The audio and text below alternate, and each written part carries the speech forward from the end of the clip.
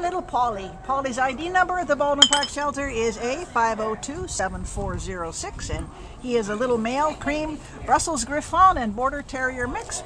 He's about two years old, very young blade. Uh, came to the shelter on January 22nd as a stray out of Baldwin Park and weighs about nine pounds. He's a very svelte young man.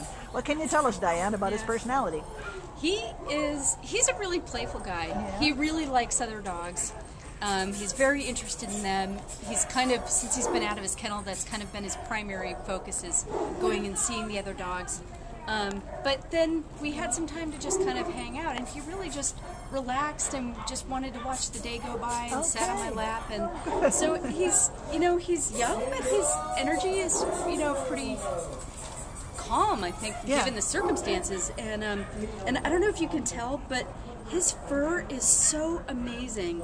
It is just like fluffy and soft, and Huh. he's cuddly, and he's just he's a really sweet guy. Yeah, he's going to be the perfect couch companion, sitting Yeah. there watching TV with you. He's just a lovely dog. Yeah. Very sweet boy, very Yeah. good size. Yep. He's kind of tall, isn't he?